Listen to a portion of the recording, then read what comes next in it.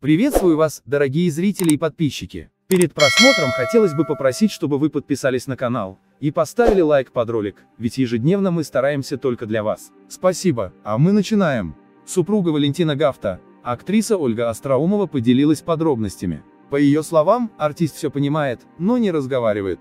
2 сентября Валентину Гафту исполнилось 85 лет. В прошлом году актер перенес инсульт, после которого так и не смог полностью оправиться. Теперь он практически не встает с постели. Поскольку актер не любит большого скопления людей, устраивать масштабный праздник родни ему не стали. День рождения звезды отметили в узком кругу. Было решено, что близкие друзья придут к знаменитости по одному. Артистка отметила, что Валентин Гафт не может самостоятельно передвигаться.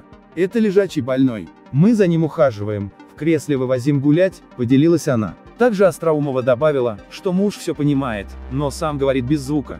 Примечательно, что и сама супруга звезды театра и кино тоже с трудом передвигается после перенесенной операции на коленях. Пару навещают друзья и стараются помогать им по хозяйству. Напомним, ранее художник Никас Сафронов рассказывал, что несколько месяцев не видел он отметил, что артист находится либо дома, либо на даче. Спасибо за просмотр, пишите свое мнение об этом в комментарии. Если хотите видеть главные новости каждый день первым, подписывайтесь на канал и не забывайте нажать на колокольчик. До встречи!